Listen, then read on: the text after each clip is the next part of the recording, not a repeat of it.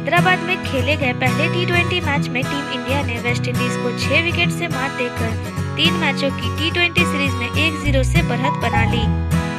के राहुल और विराट कोहली की दम पर भारत ने वेस्टइंडीज के लिए 208 रनों के विशाल लक्ष्य को हासिल कर लिया।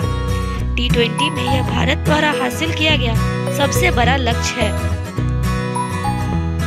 इससे पहले भारत ने श्रीलंका के खिलाफ 2009 में 207 रनों का लक्ष्य हासिल किया था। वेस्टइंडीज की टीम ने 20 ओवर के पाँच विकेट गवाकर 207 रन बनाए और भारत को जीत के लिए 208 रनों का टारगेट दिया। जवाब में टीम इंडिया ने 18.4 ओवर में चार विकेट पर 209 रन बना लिए। विराट कोहली ने 50 गेंदों पर चौरानवे और लोकेश राहुल ने बासठ रन की पारी खेली। वेस्टइंडीज के खिलाफ भारत की लगातार सातवीं जीत है।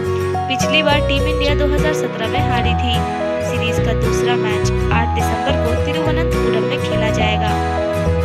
विंडीज ने भारत को विशाल लक्ष्य दिया और रोहित शर्मा के 30 के कुल स्कोर पर आउट होने के बाद लगा कि भारत के लिए यह जीत मुश्किल हो सकती है। लेकिन राहुल और कोहली ने इसे अपने बल्लेबाजी से आसान बना दिया। दोनों ने दूसरे विकेट के लिए 100 रनों की साझेदारी की। राहुल की खैरी पियर ने 130 के कुल स्कोर पर पोलार्ड के हाथों कैच कराया।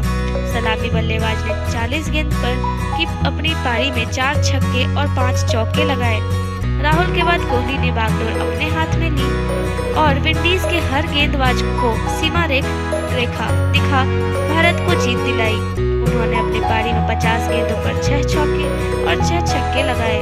ऋषभ पंत ने नौ गेंदों पर दो छक्कों की मदद से